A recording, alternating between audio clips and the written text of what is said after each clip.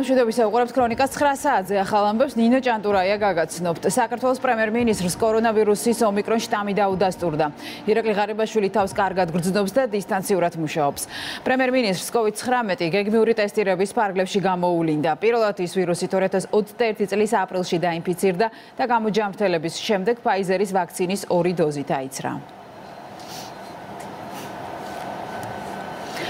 დღეიდან ამოქმედდა მოდელი, რომლის თანახმად COVID პაციენტების შინ კურნალობას ოჯახის ექიმები უზრუნველყოფენ. ჯანდაცვის მინისტრის მოადგილის განმარტებით, აქამდეც ოჯახის ექიმები მართავდნენ COVID პაციენტებს, თუმცა ამიერიდან ყველა მოქალაქე თავისი ოჯახის ექიმის მეთვალყურეობის ქვეშ იქნება, რომლებიც სპეციალურად გადაამზადეს. დღიდან ამოქმედება მოდელი, რომელიც ითვალისწინებს ოჯახის ექიმებთან რეგისტრირებული პაციენტების მართვას თავისივე ოჯახის ექიმის მიერ. აქამდე ოჯახის ექიმები მართავდნენ ბუნებრივია პაციენტებს ბინაზე, თუმცა ჩვენ ნოემბერი, დეკემბერი დაუწყვეთ იმას, რომ ყველა ოჯახის ექიმი გადამზადდა კოვიდის ბინაზე მართვის საკითხებში და უკვე მათ ყველა შეუძლიათ მართონ თავიანთივე პაციენტები. აქ ახლა ორმაგი მოსარგებელია მოსალოდნელი ერთი ის რომ გაფართოვდა ოჯახის ექიმების რიცხვი და დატვირთვა თითოეულზე შემცირდება და მეორე ის რომ პაციენტ ყოველთვის ურჩევნია თავისივე ოჯახის ექიმისგან მიიღოს რჩევა და რიგება და მისი მეტოყოლობის ქვეშ იყოს დღეს გადაწყდება ჩანაცვლება თუ არა სასკოლო სივრცეში სწავლება ონლაინ სწავლებით. სასწავლო პროცესის მიმდინარეობაზე საკოორდინაციო საბჭო იმსჯელებს. ბოლო კვირაში კორონავირუსი მასწავლებელთა 2.7%-ს და მოსწავლების 0.9%-ს დაუდასტურდა. ბოლო მონაცემებით აცრილია მასწავლებელთა და სკოლის ადმინისტრაციის წარმომადგენელთა 73.6%. სწავლის სასკოლო სივრცეში განახლების შემდეგ ინტენსიურად იტესტებიან მასწავლებლები, ასევე ადმინისტრაცია amministrazione personale. დაავადებათა კონტროლის ცენტრი ჯერჯერობით მხარს უჭერს ყველანაირად საკალათო გარემოში სწავლების განახლებას სკოლები არიან სრულად მომზადებული იმისთვის რომ ონლაინ მეთოდი გამოიყენონ თუ კი ამის აუცილებლობა იქნება და ჰიბრიდული რეჟიმი დიდი ხანია უკვე კარგად არის დანერგილი ამდენად ვფიქრობთ რომ ამ ეტაპზეც სკოლები თავად მოახერხებენ მართვას სიტუაციისას თუმცა რა თქმა უნდა საკოორდინაციო საბჭო რეგულარულად განიხილავს სიტუაციის შესაბამისად სასწავლო პროცესის მიმდინარეობის საკითხებს სპეციალისტების ვარაუდით ქვეყანაში მეექვსე ტალღა კიდევ რამდენიმე კვირა გაგრძელდება. დღიურად დადასტურებულ შემთხვევათა მკვეთ ზრდას, ჰოსპიტალიზაციისა და ლეტალობის მაჩვენებლის ზრდა არ მოყოლია, რაც დელტათან შედარებით ომიკრონის სუბუქ მიმდინარეობას უკავშირებენ. თუმცა ექიმები არ გამორიცხავენ აქტიურ შემთხვევათა რიცხვის უახლოეს კვირებში მომატებას, რაც პროცენტულად ჰოსპიტალიზებულთა მაჩვენებელსაც გაზრდის. სტატისტიკის თანახმად, საქართველოში ლაბორატორიულად დადასტურებული ომიკრონის 1000 ათასზე მეტი შემთხვევიდან სამი ადამიანი გარდაიცვალა. თუ გადავხედავთ სხვა ქვეყნების გამოცდილებას, ნათელია რომ კორონავირუსის ამ ტალღის ხანგრძლივობა 4-დან 6 კვირამდეა. ინფიცირების ესეთ ზრდას არ მოყვა სტაციონარიზაციის მაჩვენებლის გაზრდა. დღეს ქვეყანაში 2700 საწოლია თავისუფალი. მაშინ როდესაც გვაქვს თითქმის 150000 აქტიური შემთხვევა. ბევრი ექსპერტის მიერ განიხილება როგორც შესაძლებლობა შევაფასოთ ომიკრონი როგორც პოპულაციური იმუნიტეტის მიღწევის ბუნებრივი გზა. დელტა ვარიანტთან მიმართებაში 12.8% ჰოსპიტალიზაცია, ომიკრონზე ჩამოვიდა 4%. 151000 აქტიური შემთხვევა და დაახლოებით 5000-მდე ადამიანი ჰოსპიტალში. ეს დაახლოებით ეს 4%-იანი ნიშნულია სწორედ. რისკი ბუნებრივია ჩნდება, რომ ჩვენ აქტიური შემთხვევების რაოდენობა გქონდეს დროის ერთ მონაკვეთში 200.000-ზე მეტი პაციენტი, რაც რეალურად იმ 4%-იან მაჩვენებას ნიშნავს, რომ 8-9000 ადამიანს დაასჭირებს ჰოსპიტალიზაციას. ექიმების თქმით, უახლოეს დღეებში კვლავ გვექნება ინფიცირების მზარდი დინამიკა. ვაქცინაციის პროცესში ჩართვისკენ განსაკუთრებით ქრონიკული დაავადების მქონე ადამიანებსა და ხანდაზმულებს მოუწოდებენ. თუ ახლოესი 10 დღე კვლავ იქნება მზარდი დინამიკა, ან მინიმუმ იმ ციფრებში, ასე ვთქვათ, ვითამაშებთ და გვექნება ისეთი მაჩვენებლები, როგორც აი ბოლო 2-3 დღის განმავლობაში გვაქვს, რაც შეეხება ვაქცინაციას, ვაქცინაცია და განსაკუთრებით აი ბუსტერ დოზა, მესამე დოზა, მნიშვნელოვანია იმისთვის, რომ ჩვენ დაგვიცვას ჩვენი თანამოქალაქეები, განსაკუთრებით ქრონიკული დაავადების მქონე ადამიანები დაიცვას დაავადების მძიმე მიმდინარეობის სექტორისგან. ჰოსპიტალური სექტორი მაქსიმალურად გადატვირთული რა თქმა უნდა არ არის, თუმცა იმისათვის რომ არ მივაღწიოთ კოლაფსამდე, მნიშვნელოვანი არის რეკომენდაციების პირნათლად შესრულება. ის ყველა დამცავი ბერკეტი რაც არის რეკომენდაციების შესრულება იმუნიზაციის პროცესთან ერთად მაქსიმალურად უნდა იქნას გამოყენებული, რომ აცილებული იქნას დაავადების მძიმე მიმდინარეობა, ლეტალური გამოსავალი და სამედიცინო სექტორის გადატვირთვა. არსებობს მოსაზრება, რომ ახალი COVID მედიკამენტები მკვეთრად შეამცირებს ჰოსპიტალიზაციისა და ლეტალობის რიცხობრივ მაჩვენებელს. საქართველოს COVID საწინააღმდეგო აბებს Pfizer-ისგან ელოდება. თენგის ცერცვაძის განცხადებით, ჩვენი ქვეყანა იქნება ერთ-ერთი პირველი, რომელიც ახალ მედიკამენტებს მიიღებს. კონტრაქტი გაფორმებულია უკვე ჯერ გაყიდვაში არ არის მედიკამენტი ნებართვა FDA-ის მიღებულია მიდის მოლაპარაკებები და გვეხმარებიან ჩვენი უცხოელი პარტნიორები ელჩები საერთაშორისო ორგანიზაციები და საქართველოს იქნება ერთ-ერთი პირველი ქვეყანა ვინც მიიღებს ამ Pfizer-ის ვაქცინას როცა გვექნება ეს ტაბლეტირებული ფორმა და პლუს ველაში გასაკეთებელი რემდესივირი ეხლაც გვაქვს ძალიან დიდი იმედია რომ კმეთრად შემცირდება როგორც მძიმე შემთხვევები ისე სიკვდილო დამწრობის ცენტრში გადაყვანილი 8 მეშახტიდან სამი რეანიმაციულ განყოფილებაში მოთავსებული, მათგან ძიმე ერთის მდგომარეობა, რომელსაც სხეულის 60%-ის დამწრობა აღინიშნება. დანარჩენი 5 პაციენტი კი ქირურგიულ განყოფილებაში განაგრძობს კურნალობას.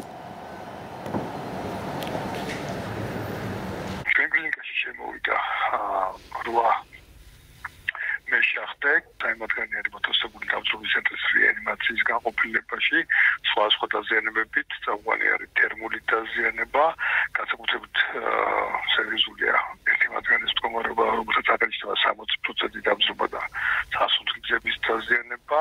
ხუთი მათგანი არის მოთოსებული დამწრობის ცენტრის ქირურგიულ განყოფილებაში მათი მდგომარეობა შეტანებით ძლიორია და სტაბილურია რეანიმაციაში ხუთი პაციენტები განსაკუთრებულ პროგრამას სწავლობენ მუნიციპალურ ტრანსპორტში ახალი სამგზავრო ტარიფები დღეიდან ამოქმედდა. ერთდღიანი ბარათი 3 ლარი, ერთკვირიანი 20 ლარი, ერთთვიანი 40 ლარი. ღირს შესაძლებელი ასევე სამთვიანი ან ექვსთვიანი ბარათები შეძენა, რაც შეეხება ერთწლიან ულიმიტო ბარათს. მისი ღირებულება 250 ლარია.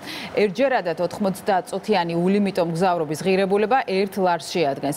მოქალაქეებისთვის, რომლებიც შეღავათიანი სამგზავრო ბარათებით სარგებლობდნენ, არაფერი იცვლება. მგზავრებს შეუძლიათ შეიძინონ წინასწარ სხვადასხვა აბონემენტის პაკეტები. გარდა ამისა, ძალაში რჩება ასევე, რა თქმა უნდა, ძველი მეტრომანის ბარათი ან სხვა ნებისმიერი ბანკის ბარათით გადახდა, ხოლო რაც შეეხება შეღავათიან სამგზავრო ბარათებს, ყველა ეს შეღავათიანი სამგზავრო ბარათი, რაც არის გაცემული და ძალიან ბევრი ქალაქ თბილისის მოსახლე სარგებლობს ამ ბარათით, მათ შეუძლიათ იგივე ბარათი და იგივე ტარიფით ისარგებლონ და მათთვის არაფერი არ იცვლება. მეტრომანის ან ბანკის ბანკის ბარათით ერთჯერადი მგზავრობის შემთხვევაში ერთჯერადი 90 წუთიანი ულიმიტო მგზავრობის ღირებულება შეადგენს 1 ლარს. ბარათის ყიდვა მგზავრებს მოუწევთ მხოლოდ მხოლოდ ერთხელ. ამავე დროს მინდა ვისარგებლო შემთხვევი და ყველა მგზავრს მოუწოდო რომ ბარათის ყიდვის დროს აუცილებლად შეინახონ ის ქვითარი, გაცემული ქვითარი, ვინაიდან შემდგომ ბარათის დაზიანების ან დაკარგვის შემთხვევაში ამ ბარათის აღდგენა შესაძლებელი არის მხოლოდ და მხოლოდ ამ ქვითრის საშუალებით. შეღავათ რეალურად სააბონენტო ტარიფებით არის მათთვის, ვინც ძალიან ხშირად ხმარობს საზოგადოებრივ ტრანსპორტს, ამით თბილისის მერიამ თავის დროზე განაცხადა კიდევაც, რომ ერთ-ერთი სტრატეგია არის, რომ ადამიანები, რაც შეიძლება მეტმა ადამიანმა გამოიყენოს საზოგადოებრივ ტრანსპორტი, ეს აბონემენტების სისტემა ხელს შეუწყობს ზუსტად ასეთ მგზავრებს, ვინაიდან ერთწლიანი ან ექვსთვიანი ან თუნდაც ერთთვიანი სააბონენტო პაკეტები მნიშვნელოვნად შეამცირებს მათ ხარჯებს მთელი ამ პერიოდის განმავლობაში. ავტობუსებსა და მეტროს ინტეგრირებულ გადახდის სისტემაში მიკროავტობუსებიც ჩართულია თბილისის მუნიციპალური ტრანსპორტის ავტობაზა დღეს საკრებულოს წევრებმა დაათვალიერეს. თბილისის საკრებულოს სატრანსპორტო კომისიის თავმჯდომარის განმარტებით მგზავრობის ახალი სისტემით მეტი მგზავრობის შემთხვევაში საფასური იაფდება. დღევანდელი დღიდან უკვე მიკროავტობუსი რომლის ფასიც ცალკე გადასახადი იყო დაემატება ერთიან საგადახდო სისტემას როგორც დღეს უწოდებენ ეს არის ინტეგრირებული გადახდის სისტემა და მე მინდა რომ დღეს ყველას უსურო შვიდობიანი უსაფრთხო გადაადგილება პირველი დღეების ფორიაკი მალე გადაივლის და მე ეჭვიც არ მეპარება რომ ძალიან მალე თითოეული ჩვენთაგანი ვიგრძნობთ იმ სიკეთეს, რასაც უფრო სწრაფი გადაადგილება ქვია ჩვენი დედაქალაქის. ამ ავტობაზაში განთავსებული არის 370 ავტობუსი, ეს არის გაზზე მომუშავე ავტობუსები და ამ ავტობაზის მეშვეობით ხდება მათი ექსპლუატაცია, ყოველდღიური მომსახურება, გაზით გამართვა, გარეცხვა, ყოველდღიურად ხდება ყველა ავტობუსის, რომელიც ხაზზე გადის, დეზინფექცია და სრული მომსახურება.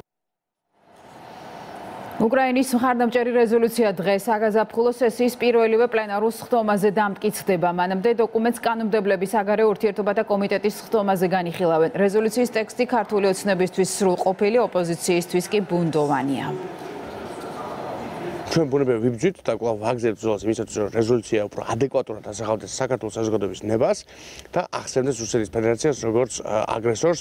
ეს არის ის პრინციპული შენიშვნა რომელიც ჩვენ გაგვაჩნდა აი ამ პროცესში ბოლო დღების განმავლობაში. რეზოლუცია რა თქმა უნდა დიდი მნიშვნელობისაა ვინაიდან ეს არის ერთ-ერთი პირველი თუ პირველი არა ამგვარი რეზოლუცია რომელიც უკრაინის მხარდაჭერისკენაა მიმართული თავარი პათოსი ამ ხარდამჭერი რეზოლუციის არის რეგიონში მშვიდობის შენარჩუნება, ომის არ დაშვება. კარგი იქნება თუ ოპოზიცია მხარს დაუჭერს წარმოქმნილ რეზოლუციას, რომელიც არის შეჯერებული აწონილ დაწონილი საქართველოს ინტერესებს მორგებული. ძალიან მნიშვნელოვანი არის რომ რეზოლუციის ტექსტი სრულ თანხმედრაში არის საქართველოს სტრატეგიულ პარტნიორებთან და მათ კონკრეტულ რეკომენდაციებთან. ოპოზიციის მხრიდან რეზოლუციის კრიტიკა არის საბაბი და მათი რეალური მიზანი არის რომ თავისი განულებული რეპუტაცია გამოასწორონ.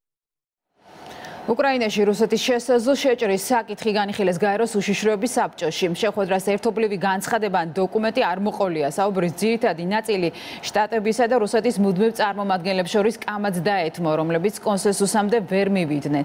საკუთარ გამოსვლაში თომას გრინფილდმა რუსეთი აწლეულების განმავლობაში ევროპაში ჯარების ყველაზე დიდ მობილიზებაში დაადანაშაულა. რუსეთის წარმომადგენელმა კი კატეგორიულად უარყო კრემლის გეგმები უკრაინაზე თავდასხმის თაობაზე. თქვენ მოისმინეთ ჩვენი რუსი კოლეგებისგან, რომ ჩვენ ამ შეხვედრის ჩატარებისკენ მოგიწოდებთ, რათა ყველამ თავი არაკომფორტულად იგრძნოთ. წარმოიდგინეთ, რამდენად არაკომფორტული იქნებოდა თქვენ საზღვრებთან 100.000 ჯარისკაცი რომ იდგეს, ისევე როგორც უკრაინის საზღვრებთან დგანან. ეს რიტორიკა არ არის. ეს შეერთებულ შტატებსა და რუსეთს არ ეხება. ეს ეხება ჩვენი ერთ-ერთი წევრი ქვეყნის მშვიდობასა და უსაფრთხოებას. თუ რუსეთი უკრაინაში კვლავ შეიჭრება, ვერც ერთი ჩვენგანი იტყვის, რომ ეს აქამდე არ გვინახავს და ამის შედეგები იქნება საშინელი. Перемещение российских войск რუსული არმია გადაადგილდება რუსეთის ტერიტორიაზე და არა უკრაინის საზღვრის მიმართულებით. თუმცა რუსული არმიის ქვეყნის ტერიტორიაზე გადაადგილებას დასავლელი და ამერიკელი კოლეგები რატომღაც აგრესიად მიიჩნევენ. მეტიც ამბობენ, რომ ეს აგრესია უკვე მოხდა ან უახლოეს დღეებში მოხდება. ამასთან არანაირი მტკიცებულება ამ სერიოზულ ბრალდებებზე არ სახელდება. საიდან გაჩნდა რიცხვი 100.000 სამხედრო მოსამსახურე? როგორც თქვენ ამბობთ, რუსეთ-უკრაინის საზღვარზე ეს რიცხვი ჩვენ არსად გვიხსენებია. планированные военные акции უკრაინამ შეერთებული შტატებისგან სამხედრო დახმარების მეხუთე პარტია მიიღო. ქვეყნის თავდაცვის მინისტრის მიერ გავრცელებული ცნობით, ამერიკული ტვირთი 84 ტონა საბრძოლო მასალას მოიცავს. მინისტრი ასევე აცხადებს, რომ უახლოეს დღეებში კიევი ამერიკელი მეგობრებისგან თავდაცვითი იარაღის მორიგ პარტიას მიიღებს.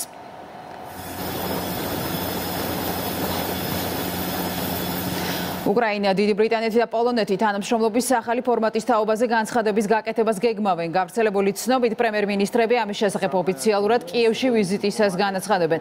მზადყოფნა საგანგებო ბრიფინგზე უკრაინის საგარეო საქმეთა მინისტრმა დმიტრო კულებამ დაადასტურა და აღნიშნა, რომ ბორის ჯონსონი და მატეუშ მორავიეცკი კიევს მიმდინარე კვირაში ეწევიან. თანამშრომლობის სავარაუდო ახალი ფორმატის შესახებ დამატებით ინფორმაცია ჯერჯერობით უცნობია.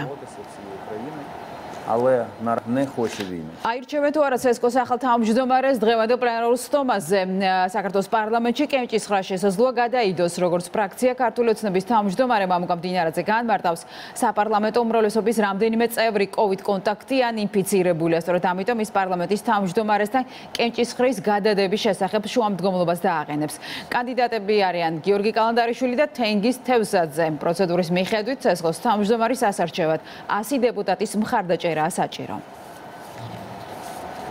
შევხვდი პოლიტიკური გაერთიანებების წარმომადგენლებს, როგორც საპარლამენტო ჭრილში, ასევე არასაპარლამენტო პოლიტიკურ გაერთიანებებს. მათ მივაწოდი ამომწურავი ინფორმაცია ჩემი ხედვის და ადმინისტრაციის შემდგომი ტრანსფორმაციის განხორციელებასთან მიმართებაში. უკვე გაჟღერებული და საჯაროდ გაკეთებული განცხადებებიდან ჩვენ შეგვიძლია დავასკვნათ და მოლოდინი მქონდეს იმისა, რომ მრავალპარტიული და მაღალი მრავალპარტიული მხარდაჭერა იქნება ჩემს კანდიდატურას. რეფორმები არის აუცილებელი. ჩემი მოლოდინები არის ის, რომ მე რეალურად ვაფასებ მოცემულობას და მდგომარეობას და ვიცი, რომ დღეს არის პარტიები, რომლებიცაც არ აწყობთ საარჩევნო ადმინისტრაციის რეფორმირება.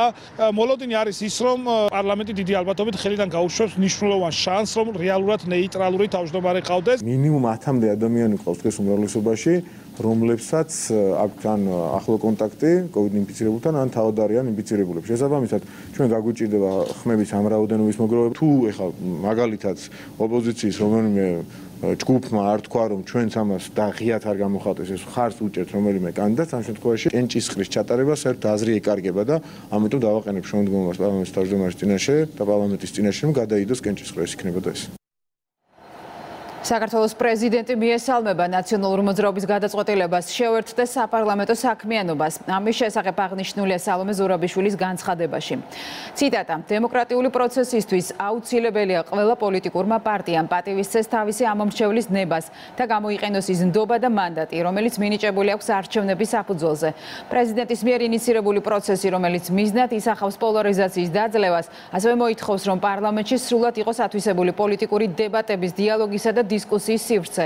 ეს არის ჩვენი ქვეყნის განვითარების გზა, ნათქვამია სალომე ზურაბიშვილის განცხადებაში.